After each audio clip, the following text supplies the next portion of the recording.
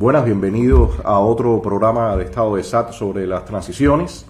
Hoy vamos a analizar lo que vino ocurriendo durante un momento de la década de los 80, 90 y hasta la aparición de Hugo Chávez y unos años después, porque realmente para analizar Cuba, eh, todos estos años, más de 30 años que han pasado desde las transiciones de Europa del Este, eh, es imposible eh, abarcar todo ese contenido en un programa, así que pensamos hacer al menos dos programas eh, sobre el tema Cuba y cómo, cómo ha venido evolucionando la situación. Y también al final eh, la visión, la visión que tenemos sobre eh, un proceso eventual que debe ocurrir en algún momento de transición acá en Cuba. Y bueno, gracias Fernando, gracias por estar por acá. Llegamos a la, a, como se diría, al pollo del arroz con pollo, ¿no? Ya después de barrer todo lo que fue el bloque de Europa del Este, ver también en caso China, eh, Vietnam, Birmania. Eh, bueno, entramos ahora a Cuba y Cuba viene dando como, como traspiés, ¿no? De los años 80 el régimen cubano ha intentado en algún momento eh, o amagado con que va a hacer algunos procesos de liberalización o, de apertura, más apertura en el tema económico sobre todo, en la parte política no, pero en la parte económica ha mostrado como que quizás quiere hacer algo algún tipo de variación, pero al final eh, siempre es un paso delante, dos hacia atrás. ¿no? Yo quería, antes de darte la palabra para que nos eh, hagas una, un barrido de lo que ha pasado en todo este periodo, también mencionar que en los años 80, cuando, cuando el régimen lanza aquel famoso, aquella famosa rectificación de errores, eh, se venía de, en el año cero de esa década, en el año 1980, eh, ocurría la Embajada del Perú y posteriormente el Mariel. Eso fue un golpe eh, fuerte. Eh, el régimen lanzó toda una campaña política. recordemos a todos los actos de repudio, las marchas del pueblo combatiente, como le llamaban, la estampida de más de 120 mil cubanos, realmente movilizaciones de millones por parte del régimen para mostrar el supuesto respaldo que tenía la revolución. Eh, eso vino acompañado también de eh, algunos amagos de liberalización, pero, que al final eh, terminaban, como decía, en pasos adelante hacia atrás y un escenario internacional bien difícil, porque si bien cuando el periodo de Carter, el bloque comunista, se había sentido mucho más a gusto, entra Reagan ya en el año 81 y las tensiones se incrementan y la presión es tremenda, ¿no? Entonces, todo esto que habíamos analizado del caso de Polonia, de la Unión Soviética y demás, eh, todo eso evidentemente tiene una repercusión en Cuba. El régimen estaba implicado también en todas estas guerras por África, en movimientos en América Latina. O sea, es un contexto eh, bien complejo donde el, eh, Estados Unidos a la cabeza viene en una embestida contra lo que es la izquierda global y el comunismo y el régimen eh, cubano, por supuesto, está eh, dentro de todo eso. Recordemos el caso de Granada también. O sea, hay un contexto bien, bien movido, bien tenso. Y el, régimen cubano trata de ponerse eh, al día de alguna forma con lo que se lanza desde la Unión Soviética, que es el proceso de perestroika y glasnost. Em, yo quisiera que nos empezaras a narrar un poco la, la información que nos trae sobre eh, ¿qué, venía, cómo se fue desarrollando eh, esa década del 80 para después entrar en los 90 y como mencionaba, eh, quizás hacer un primer corte en, el año 2002-2003 después del intento de sacar a Hugo Chávez del poder y, qué, se, qué ocurre a partir de ese momento, la implicación del régimen cubano en Venezuela. Así que adelante, Fernando. Sí, hay una realidad y es que en los años 80, 90, o sea, fundamentalmente durante todos los años 80, como tú bien planteabas, eh, ya se notaba la necesidad de realizar determinados cambios, de eh, realizar determinadas reformas, porque el país, o sea, el desarrollo del país, eh, estaba prácticamente estancado. Habían comenzado los movimientos, ya se estaban haciendo reformas en China, que había empezado antes, estaban produciéndose movimientos también en la antigua Unión Soviética, pero el, o sea, el Partido de Estado Gobierno cubano, aunque habló y se resume en aquella célebre frase de rectificación de errores y tendencias negativas, en realidad eh, esto se quedó en una frase, o sea, excepto eh, la apertura del mercado campesino, de un incipiente mercado campesino, y eh, la apertura, como todos recordarán, de aquel mercado único que se llamó Mercado Centro en las instalaciones de la antigua tienda CIA. Mercado Centro porque era el único mercado para todo el país. Yo recuerdo que venían personas de Matanza, de Pinar del Río, hasta de Santi Espíritu, de Camagüey a comprar, porque era el único lugar donde había esa posibilidad. Y ese, ese mercado centro y ese mercado campesino fueron en la práctica eh, las únicas reformas eh, o mejora de tipo económico que se produjo. Sí, estuvo aquello también de los artesanos y demás, que terminaron después todos en campañas de... Sí, se abrió la plaza de la catedral, después se hizo la serie de campañas aquella de Pitirre en el alambre, que fue el nombre que le pusieron, la campaña contra los macetas, las diferentes campañas, porque se abrió la plaza de la catedral y bueno, y después de pronto, bueno, ¿y de dónde sacan la materia prima los Bueno, ¿de dónde la van a sacar? Si tú no se la vendes, la sacan de, de donde la pueden resolver. ¿Por qué? Porque se vendían artículos de piel, artículos de, de cobre, eh, mucha tela, plástico para plástico, y la gente inventaba. Eh, había personas que establecieron hasta eh, fabricación de jarros, de cosas, de, cubiertos plásticos, de cosas de plástico, o sea, muy incipiente todo. Pero inmediatamente que, se, que eso cogió auge, pues le dieron el, la persecución y prácticamente se liquidó. La plaza de la, eh, de la catedral se liquidó y eh, en esa misma etapa de los años 80, se produce un poco más adelante aquel planteamiento de ahora sí vamos a construir el socialismo también, que juega, todo eso está embarcado entre, en los años estos. Y eh, realmente uno decía, bueno, ¿cómo es posible que ahora sí vas a construir el socialismo? Eh, han pasado ya X cantidad de años, una buena cantidad de años, ¿a qué, ¿a qué nos hemos dedicado? ¿O a qué se ha obligado a dedicar al pueblo cubano? Porque ha habido movilizaciones, ha habido campañas de producción, ha habido miles de cosas. Entonces, ¿qué, estabas construyendo? Y en definitiva, eh, tampoco eso eh, cuajó en ningún tipo de reforma. O sea, mm, las reformas en realidad siempre estuvieron engavetadas. O sea, se anunciaban, ahora sí vamos a hacer esto, vamos a mejorar, pero en la práctica nunca se hubo una línea de decir, eh, bueno, vamos a este año o en estos dos o tres años vamos a alcanzar esta meta, vamos a alcanzar esta otra, y, entonces vamos a ir haciendo un proceso de reforma. Eran como bandazos. De pronto había una situación crítica, vamos a hacer reforma, y comenzaban a hacer algunas pequeñas curitas de mercurio cromo inmediatamente. Pero incluso, Fernando, hay diversas intervenciones de Fidel Castro en entrevistas, ya sea eh, para acá o discursos acá al interior, o en entrevistas que daba a medios extranjeros, donde eh, en un momento inicial él aplaudía eh, los pasos que estaba dando Gorbachev allá en la Unión Soviética.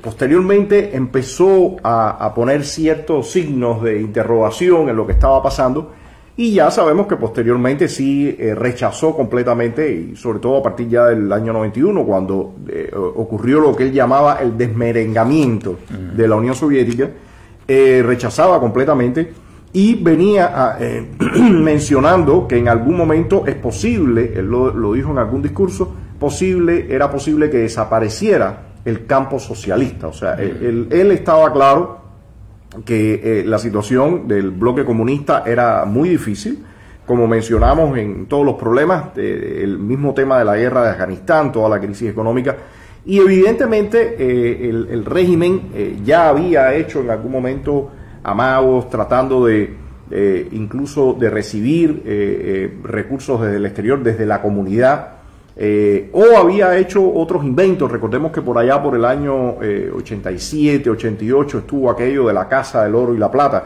Finalmente, el, otro día conversábamos eh, en la preparación del programa que nunca, nunca se supo qué pasó con todo aquello, pero fue una recolecta gigantesca de prendas, de antigüedades, de, todo, que al final nunca se ha sabido qué pasó con, con todo ese dinero. Pero el régimen sí estaba ya moviéndose en un camino paralelo y sobre todo se había abierto la posibilidad de que los propios militares también entraran en el mundo de, los negocios, en el mundo de la economía. Y todo esto porque evidentemente el, régimen eh, podía eh, visualizar que algo estaba pasando en el bloque comunista que posiblemente a ellos no le convenía. Yo diría que intentaron prepararse como siempre a su ritmo, que su ritmo es bien inerte, y cuando cae finalmente la Unión Soviética, ellos reconocen públicamente que hay una caída del 70% de, de todo lo que, lo que recibe y se importa en el país. Eh, definitivamente no estaban preparados. Sí, hay una situación y es la siguiente. Durante estos años, prácticamente durante los años del proceso llamado, entre comillas, revolucionario, eh, en realidad eh, nunca se dedicaron recursos, o sea, en serio, a lograr establecer una economía sólida en el país. Cuba es un país agropecuario fundamentalmente, pero nunca, pero nunca realmente se invirtió en transformar esa economía agropecuaria. Recordemos que en estas etapas de que estamos hablando de los años 80, eh, muchos productos eh, agrícolas se importaban en forma de conserva de, la, de los países socialistas. Recuerdo que se traían productos, o sea, carnes, etcétera, célebre carne rusa, de China se traía, productos vegetales se traían, o sea, conservas vegetales se traían de Bulgaria, de Albania, de Rumanía, y entonces uno decía, bueno, ¿cómo es posible que en Cuba eh, existan todos estos productos de consumo y haya que importarlos, haya que traerlos? Eh, recuerdo que se organizaron los célebres mercaditos paralelos a aquello para aliviar un poco el mercado centro y lo que vendían eran esos productos, pollo búlgaro o pollo francés, a veces lo traían de Francia entero, y mucha latería o pomería, mucho pomo de estos países, tanto de conservas de vegetales como de dulces, etcétera. Y tú dices, bueno, pero ¿por qué no se producen en Cuba? Hay otra situación que es interesante y es que en mientras se producían estos cambios que se estaban produciendo en China, se estaba produciendo, el ambiente existía ya en los países, en los países socialistas después, y en la misma Unión Soviética, eh, al mismo tiempo se estaban llevando a cabo las intervenciones estas en Angola, Etiopía, la misma guerra de Afganistán. Aquí mismo, eh, en determinado momento se manejó y se manejaba, eh, bueno, en qué momento las tropas cubanas van a salir de África tiene que haber un momento en que salga de África. Todavía no se había planteado la salida, pero ya sí se conversaba y se manejaba inclusive planificar cómo iba a ser esta retirada. Todavía no estaba planteada, pero ya se estaba pensando, porque se sabía que eso no tenía... No, estaba el caso de Afganistán. O sea, Afganistán de alguna forma daba la medida de por dónde iban las cosas. De que había que salir, que eso era un barril sin fondo y que no había haber ningún resultado.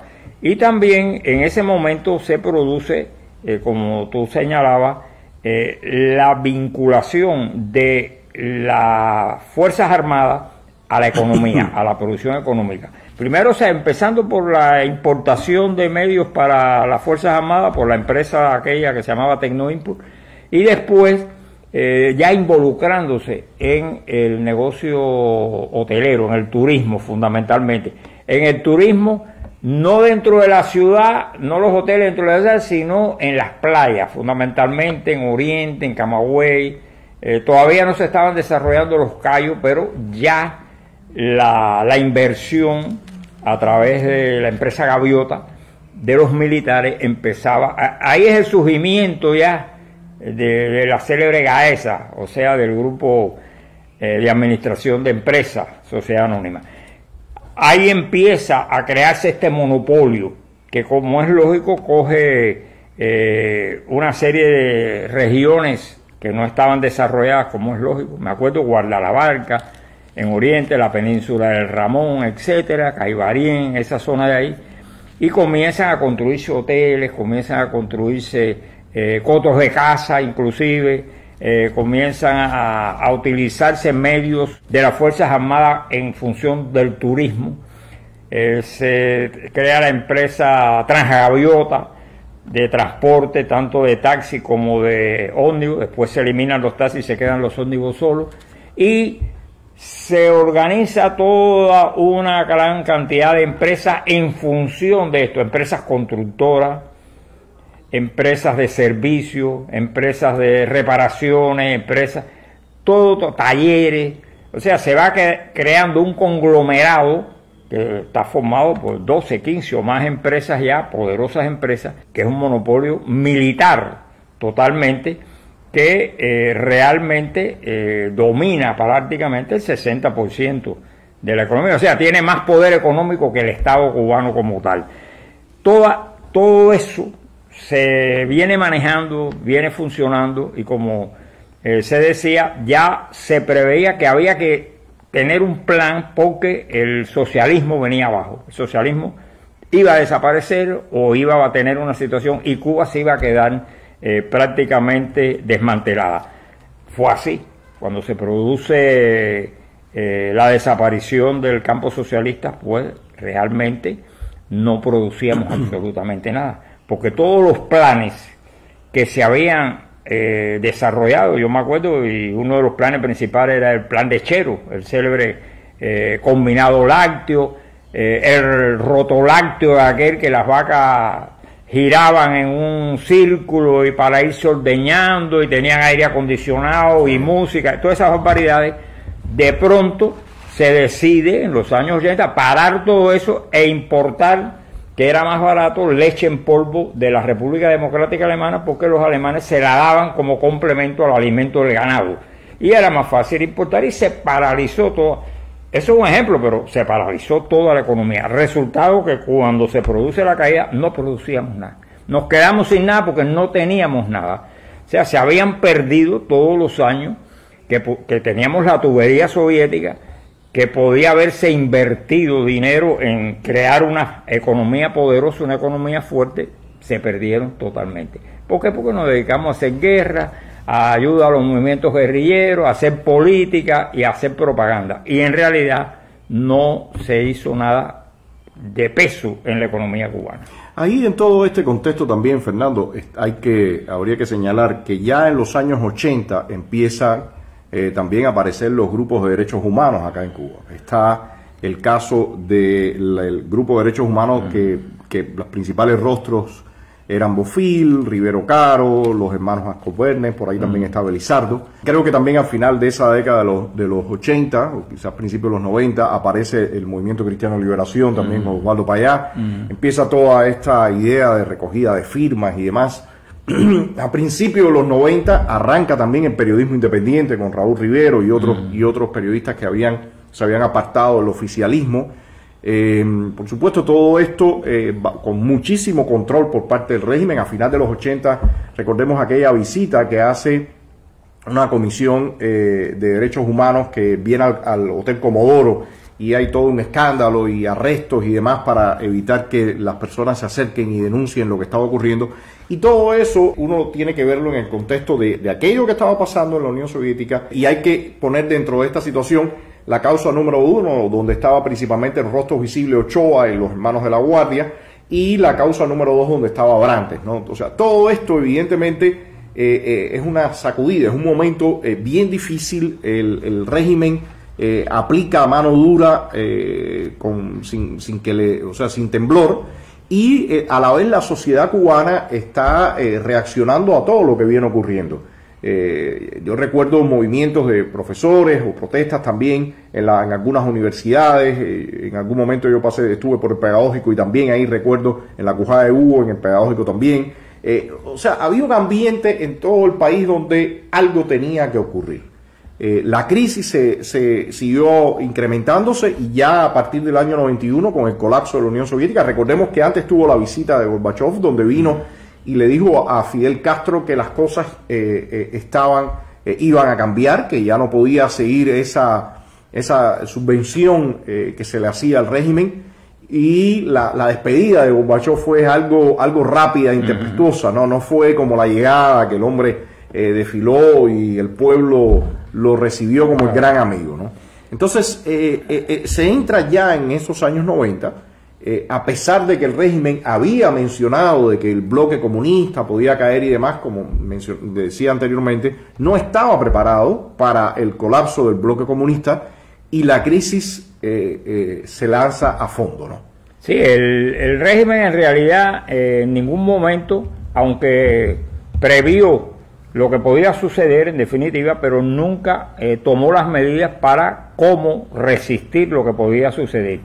Es verdad que desde antes inclusive venía que explota cuando la, eh, los juicios estos de, de Ochoa y después de Abrante, etcétera, eh, venía todo el célebre departamento aquel MC. MC que se dedicaba por la izquierda prácticamente a, entre comillas, a burlar el llamado bloqueo, o sea, a buscar y a comprar en el mundo capitalista y en los Estados Unidos inclusive eh, aquellos productos que eran necesarios para tanto para la defensa como para la salud, para la economía en general y piezas de repuesto, etcétera. Eh, pero eso era una, una, cosa paralela que explota cuando y la gente la conoce realmente eh, cuando se producen los juicios de los años estos de 89.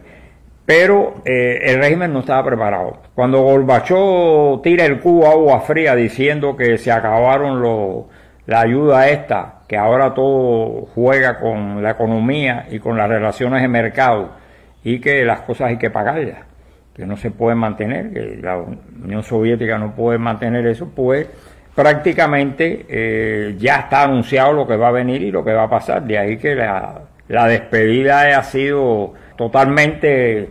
Eh, pasó desapercibida para las una, personas. Una despedida express. Express. o sea, de pronto ya Gorbachov se fue, bueno, y cuando se fue, ¿quién lo despidió? No, ya se fue. Al principio hubo eh, determinadas figuras políticas importantes inclusive que manejaban positivamente eh, la perestroika y el glasno, o sea, tanto la reestructuración económica como la apertura, eh, las libertades, la apertura política.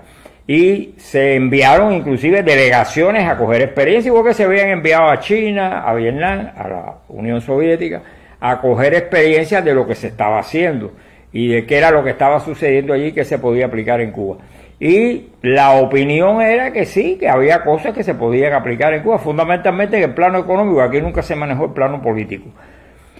Y eh, de pronto eso se cerró y se dijo, no, no, ya borren, como si no hubiera sucedido. O sea, realmente se dieron órdenes de que todo lo que se habló hay que borrarlo. Y cualquier documento que se haya elaborado de eso hay que borrarlo. Yo recuerdo no sé, eso no se manejó mucho a nivel público, pero sí a nivel de Estado, que aquí hubo una política que se llamaba Estrategia Año 2000. Estrategia Año 2000 era un plan a largo plazo que abarcaba tres quinquenios, o sea, 85-90, 90-95, 95-2000, por eso se llamaba Estrategia Año 2000, donde se suponía que eh, se iba a producir la transformación económica, claro, en el marco socialista, ¿no? Todo, aquí no, se, no eran reformas de otro tipo. Y se crearon comisiones para desarrollar la metalurgia, la industria pesada, para desarrollar eh, la industria ligera. Y todo el mundo aportó y la gente, aquí yo me acuerdo que en la industria pesada se pensaba hasta fabricar locomotoras, barcos, aviones, una locura. Y, de, y todo eso jugaba con los soviéticos y eso enmarcaba tres quinquenios. ¿Qué se iba a hacer en el primer quinquenio? ¿Qué se iba a hacer en el segundo quinquenio? O sea, 85-90, 90-95 y 95-2000. Y se suponía que en el año 2000 estaban cumplidos todos estos objetivos. En la práctica eso se quedó solamente en papeles. No se hizo absolutamente nada. En esa estrategia está incluido la participación de Tamayo en el vuelo cósmico, que eran las investigaciones científicas que se le pidió a las instituciones que aportaran qué quería que investigara Tamayo. Tamayo no investigó nada, Tamayo iba sentado ahí como copiloto o como pasajero. No tenía nada que ver con eso como se hacían todos los viajes de la Unión Soviética. O sea, simplemente un problema político. Y, pero se le dieron tareas que tenía que investigar en ese vuelo que iba a hacer, etcétera. Y eso estaba enmarcado dentro del desarrollo científico de eh, eh, estrategia. Fernando, yo creo que lo importante de todo esto es que, que personas más jóvenes o, algunas personas que no eh, han, no estaban enteradas de lo que lo que había ocurrido en aquella época se, se enteren que, que todo esto de los lineamientos y la la ¿cómo le llaman? reordenamientos y todos estos nombres que ellos han buscado. Y la conceptualización. La conceptualización y qué sé yo. Eh, eh, esta ya es como la quinta vez o la sexta vez que vienen con este con, con estas supuestas reformas o, supuestas políticas, ¿no? O sea, que, a, que al final de la jornada eh, llevamos en esto, que es el famoso cuento casi de la buena pipa, ya decenas y decenas de años donde se dice que se va a hacer y al final no se hace nada. Al revés, todo lo contrario, los planes siempre son eh, ya eh, en un nivel primario. Eh, como tú mencionas, en aquella época hasta enviar a un hombre al cosmos a investigar, que al final sabemos de qué se trataba, pero de todas formas estaba ahí puesto porque de alguna forma existía algo que tenía que ver con eso. Pero cada vez las aspiraciones son más primarias y más básicas. Eh, en un escenario donde evidentemente eh, ya hay una acumulación de, desastre sobre desastre que eh, ahora, antes del programa hablábamos, hablábamos del mismo tema de la zafra, que se esté produciendo lo que se producía en, en, la década de los 80 del siglo XIX, realmente es una muestra del gran retroceso que ha existido en este país. hay una cosa interesante, igual que se enterró todo lo que se había hablado de la perestroika, o sea, de la reestructuración y de la apertura de la Unión Soviética para aplicar en Cuba, cuando desaparece el campo socialista, se ordena incinerar todos los documentos que tenían que ver con Estrategia Año 2000. O sea, Estrategia Año 2000 no existió. No existió. Incinerar todo y olvidarse de que eso se había hecho. E, ese es el problema. Entonces ahora después se retoma cuando, como tú planteas, los lineamientos. Bueno, los lineamientos es volver allá atrás de nuevo a sacar de las cenizas. de todo. A sacar de las cenizas otra vez con otro nombre aquello. Porque era eso en definitiva, cómo va a ser la industria tal, cómo va a ser la metalurgia, cómo va a ser esto, cómo va a ser lo otro. Es volver sobre lo mismo, pero teóricamente, en, en papeles, no en la realidad. Y esto mismo, eh, ¿qué pasa? Que cuando cae el campo socialista, pues es lógico que se produce un desamparo total porque tú no tienes asideros ninguno para resolver. Acuérdense de la cantidad de medidas que se tomaron. Eh, medidas, vaya, eh, terribles, uno se lo olvida, pero bueno, prácticamente la vida del país se cambió totalmente. Que ya era crítica, pues se volvió más crítica. Acuérdense que las emisoras, de, o sea, la televisión trabajaba hasta una hora determinada, después se acababan los programas, el transporte, todo, la bicicleta, bueno, todas las locuras aquellas que se hicieron. Y aquí hay que marcar también que en esta etapa, eh, que se me olvidaba, eh, se produce un hecho más o menos hacia finales, que es cuando eh, se promueven a, a cargo público a toda una serie de personas o de individuos que formaban parte del grupo de apoyo del comandante jefe. Ahí sale Carlos Laje, sale el ministro de Relaciones, salen toda una serie de personajes que quedan en el grupo de apoyo simplemente y de pronto se quitan toda una serie de ministros que venían del ámbito militar y son sustituidos por esta gente joven. Porque en definitiva Carlos Laje hace como primer ministro, es secretario del Consejo de Estado, pero en la práctica es el primer ministro. Es el que maneja a todos los ministros, aunque se no sea su cargo, pero juega ese papel y delega, Fidel delega en él toda una serie de cosas. Recordemos que hasta se trae al economista este, a Solchaga, el economista español, que lo manda Felipe González, para que asesore eh, qué cambios hay que hacer, porque hay que hacer cambios, todo el país está destruido. Y se dan talleres en los cuales participan todos estos dirigentes jóvenes nuevos, que se supone que es la sangre nueva, participan en estos talleres hoy en todas las intervenciones y Fidel le vuelve a tirar el cubo agua fría. Ahí, ahí, ahí, de nuevo, Fernando, yo quiero mencionar porque a mí me parece importante que, que muchas de las personas, que no, no dudo que haya alguien de los que ahora entran en todos estos círculos de ministros y consejos de ministros, funcionarios, que de momento se creen que realmente pueden tener un poder o que, o que tienen un poder. Y por eso es tan importante hacer historia en esta época de los 90, cuando el, finalmente colapsa el comunismo, eh, Fidel Castro y el grupo que está en el poder se percata que tienen que moverse eh, a toda velocidad. Mm. Recordemos que eh, la situación social se calentaba cada vez más al punto de ocurrir el famoso maleconazo que venía ya con el, hundimiento del remolcador, los intentos mm. de de salida ilegal. Eh, o sea, ya era una situación, los jóvenes que habían, creo que eh, el, lo, que ocurre, el suceso que ocurre eh, primero, que después va desencadenando toda una otra serie de, situaciones, es dos jóvenes que iban a, intentaron, los agarran, creo, intentando salir del país desde regla, matan a uno. Mm.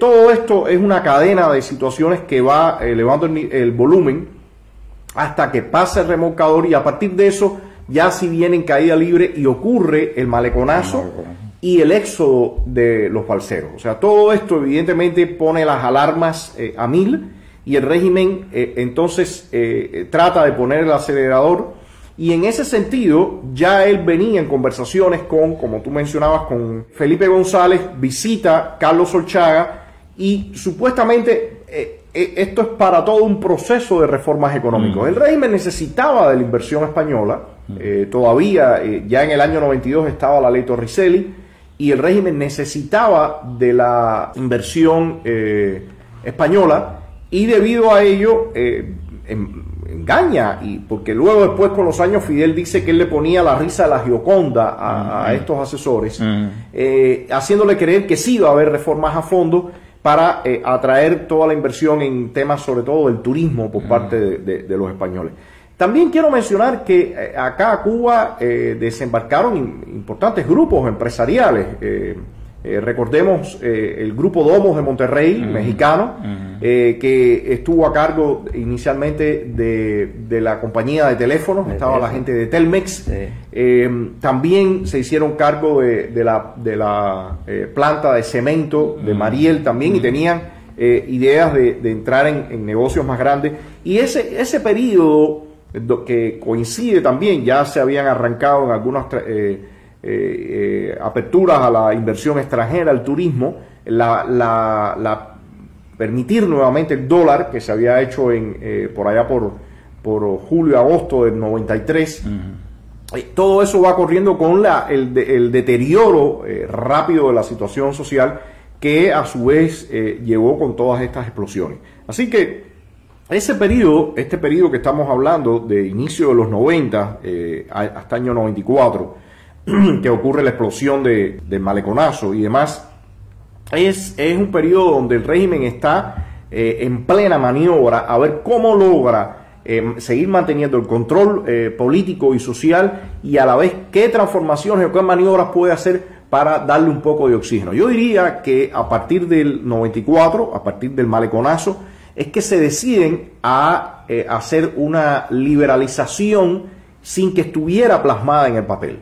O sea, recordemos que eh, eh, ya a partir de esa, de esa época el régimen permite lo que es la renta de habitaciones a turistas, el, alquileres de carros, paladares clandestinas, o sea, todo esto se hace detrás del telón sin que exista documento, pero hasta el año 96 o 97 fue que, se, que finalmente se oficializa eso, o sea, más de dos años, tres años, en donde eso estuvo corriendo. Y por supuesto siempre estaban sus multas, algunos inspectores y demás, pero en general el régimen eh, supo que tenía el agua al cuello y permitió que ocurriera eh, esta especie de liberalización eh, no escrita, donde realmente en corto tiempo por lo menos se vio algún pequeño repunte, la gente pudo respirar algo en, en, ese momento y sobre todo moverse en, la economía informal, en el mercado negro. Hay una cosa que es importante.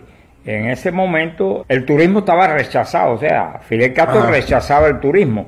Decía que no le interesaba el turismo porque eso lo que traería era vicio, droga, prostitución, etcétera, etcétera. Después de pronto acepta, vienen las inversiones españolas, los Meliá, vienen los resorts en Varadero, eh, viene la inversión canadiense, viene la Cherry para las plantas de níquel, viene la Cherry también en toda la cosa de la minería, vienen las empresas francesas en la rama hotelera, los mexicanos, los mexicanos inclusive, la empresa mexicana tuvieron el hotel Habana Libre, lo, lo regentearon ellos, o sea, se abre no a los cubanos, ni a los cubanos de Miami ni a los cubanos de Cuba. Sí, no, no, en ese sentido estaba completamente cerrado. Prohibido, inversión extranjera. Y se permite eh, el funcionamiento o el surgimiento de estas formas ilegales, entre, ilegales, eran ilegales en aquel momento, no estaban reguladas por, por ninguna ley, ni ningún decreto, ni nada, pero las autoridades se hacían de la vista gorda, fundamentalmente. La gente alquilaba sus casas, eh, se creaban esto que tú dices, paladares, había ventas paralelas prácticamente, yo recuerdo que uno iba al mercado de Carlos III y en la entrada del mercado de Carlos III ahí te ofrecían de todo, te ofrecían colchones, jueves, se venían muebles se en la calle, se ponían todo eso. Y eso no estaba regulado, pero estaba permitido. Por lo menos las autoridades se hacían de la vista gorda. Después viene ya la regulación, donde establece toda una serie de impuestos y controles, etcétera, para el ejercicio del llamado trabajo por cuenta propia. Y empiezan a regularse toda la, hasta el llenado de fosforera. Para llenar fosforera había que tener una licencia. O sea, cosas ridículas totalmente, pero bueno, todo eso con el objetivo, claro, de, que la gente pudiera sobrevivir, porque bueno, prácticamente las empresas tuvieron que cerrar muchas empresas, carecían de materia prima, todo venía de la Unión Soviética. No la economía estatal colapsó. Colapsó totalmente la economía estatal y la gente tuvo que buscarse las formas de, de vida. Y eh, prácticamente todo esas formas de vida primitivas, porque eran formas de vida primitivas. Acuérdense que eh, en cualquier lado te montaban un timbirichi y la gente empezaba a hacer cualquier cosa, a vender cualquier cosa, una mesita en la calle, y tú decías, bueno, ¿y esto qué cosa es? Eh, o sea, surgió el mercado callejero otra vez, se comenzaron a traer productos del extranjero, lo que después serían las mulas, y ya los productos que no existían tú los podías comprar con estos particulares. O sea, en ese momento se permitía, la gente los vendía en sus casas, en los portales, en muchos lugares. Y eh, prácticamente todo, todo esto que se, le, eh, se permitió el mercado campesino, bueno, toda una serie de cosas. Todo esto eh, colapsa cuando aparece en la escena Chávez con su... Eh, sí, ya Chávez, ya Chávez visita acá, el, una vez que lo, lo, liberan del intento de del Intento él visita acá año 94, y a partir de eso evidentemente Fidel Castro empieza a trabajar sobre esta persona para llevarlo a la presidencia, lo cual... Eh, también quería mencionar, Fernando, que en el año 96, eh, cuando todo este movimiento que, que, ya venía de final de los 80 y principio de los 90, eh, aparece la plataforma opositora Concilio Cubano, ¿no? que mm. quieren hacer un, un, conclave, una reunión general para ir para febrero del año 96. Y eh, viene y ocurre también eh, paralelamente el tema del derribo de las avionetas en manos a rescate mm. y una embestida del régimen contra ese movimiento opositor, muy incipiente, pero que venía con mm. dentro de todas las demandas y toda la crítica situación social eh, que había. Después aparecieron y ya fueron más visibles también otro, otro liderazgo opositor, como fue el de Osvaldo Payá, como fue el de Bisset, mm. como fue aquel documento también que apareció La Patria de Todo, donde estaba eh, Vladimiro, Félix Borne, Manzano, Marta. Eh, y todo, y todo esto es parte de ese proceso tan difícil que se va dando en los años 90 y donde el régimen está recalculando todo el tiempo, como tú dices, ya en el año 98 eh, se veía que Hugo Chávez iba camino a, ganar, gana después y en el año ya 99 el régimen empieza nuevamente a recoger cordel, como se dice en buen cubano.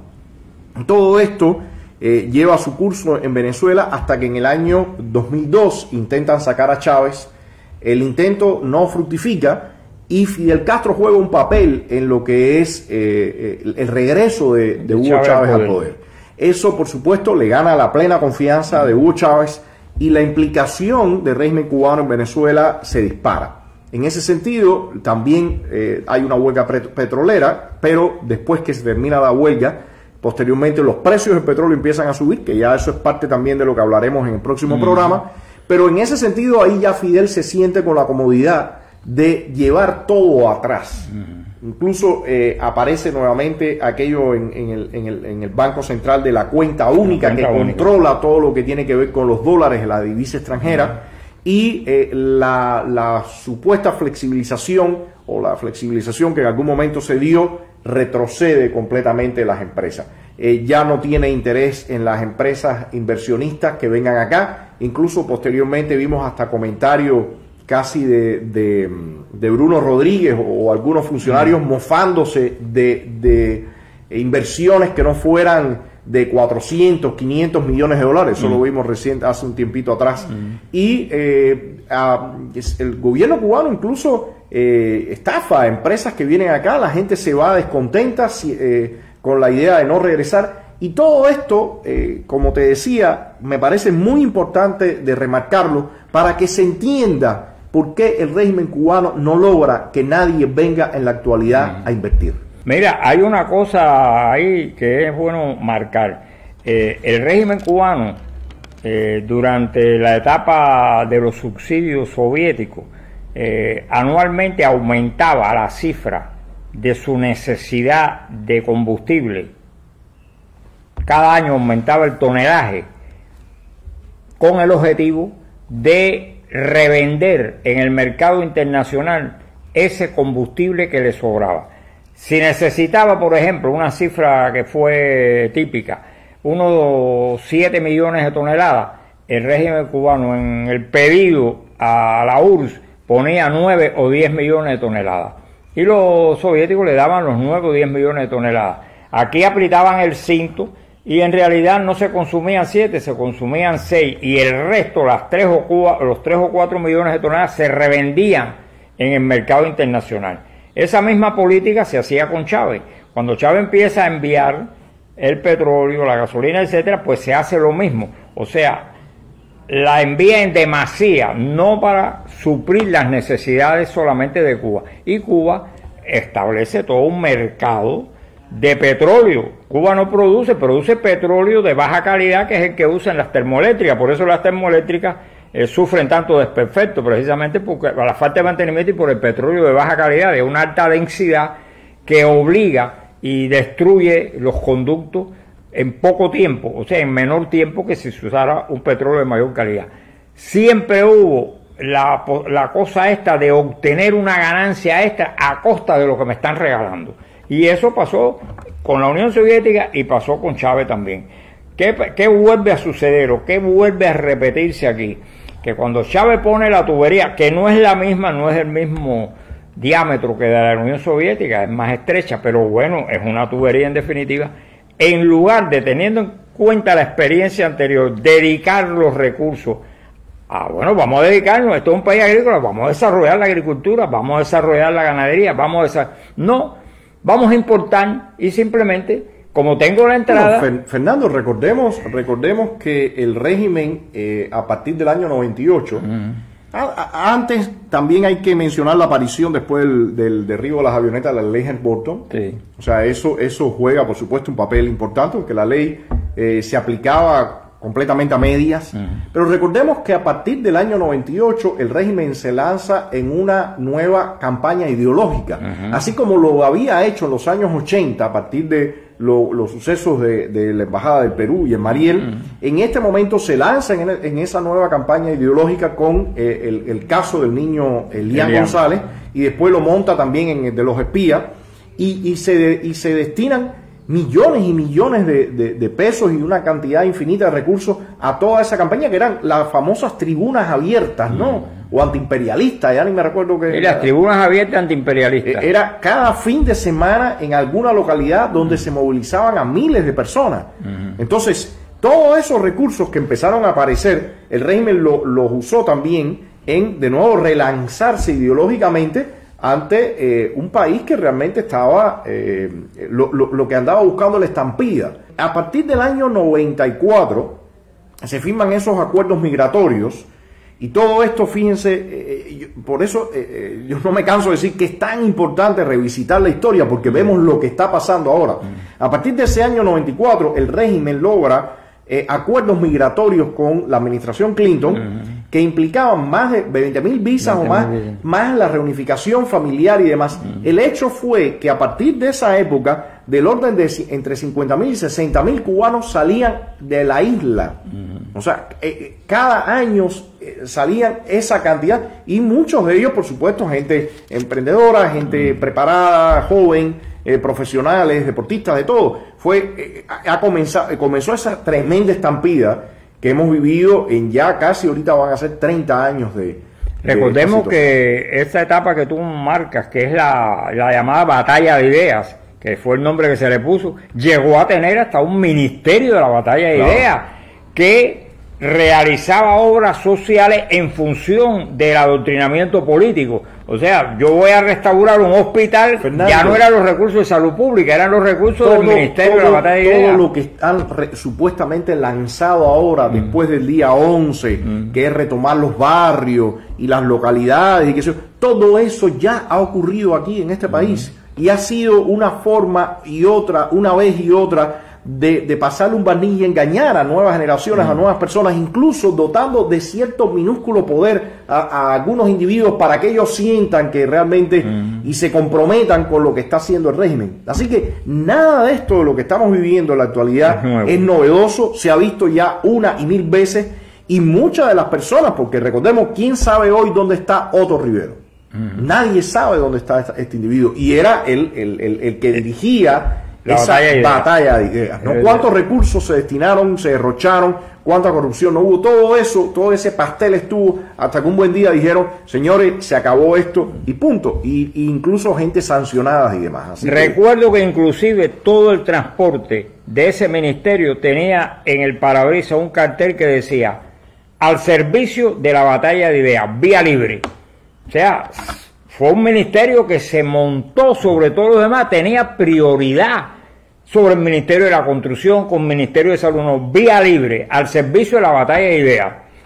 Muévete como te dé la gana. Y a él se creó la corrupción, por eso después de todo eso se desbarató y eh, se dilapidaron recursos, etcétera. Todo volvemos a repetir los mismos errores, volvemos a sacar el mismo eh, esquema que ya fracasó, le cambio el nombre, ahora últimamente, ¿de qué se está hablando? De que hay, hay que sembrar conciencia. Eso es batalla de ideas, lo que se llama sembrar conciencia, conciencia revolucionaria. Es batalla de ideas. Vamos a hacer propaganda, vamos a dedicar la televisión, la radio, el cine, hacer programas, la prensa, todo. Vamos a sembrar conciencia revolucionaria para salvar la revolución. Eso lo plantea el Departamento Ideológico actualmente, la última reunión que hubo hace más o menos un mes. O sea, volvemos a retomar los mismos eh, programas fracasados que no resolvieron nunca ningún problema. O sea, es, es retomar lo fracasado y no, no traer nada nuevo. No refrescar realmente el país. Bueno, eh, eh, Fernando, yo creo que es un buen punto para parar acá y hemos recorrido todo ese momento de los 80, 90, principio del, del, siglo, para en el próximo programa ver, espero que podamos barrer todo lo que queda hasta la actualidad y, después entrar eh, quizás en el mismo programa o en otro más sobre eh, visiones que eh, pueden estar presentes o, propuestas que pueden estar presentes para un eventual proceso de transición que ocurrirá evidentemente en algún momento en esta isla. Así que te agradezco Fernando, les agradezco a ustedes que compartan toda esta información. Me parece vital, vital que conozcamos nuestra historia nuestra historia eh, reciente y ya algunas veces no tan reciente, porque cuando hablamos de los años 80, señores, ya estamos hablando eh, casi de 40 años después. O sea, ha pasado el tiempo y, Cuba sigue entrampada en toda esta eh, situación. Así que gracias Fernando, nos vemos en un próximo programa y les agradecemos mucho compartir toda esta información.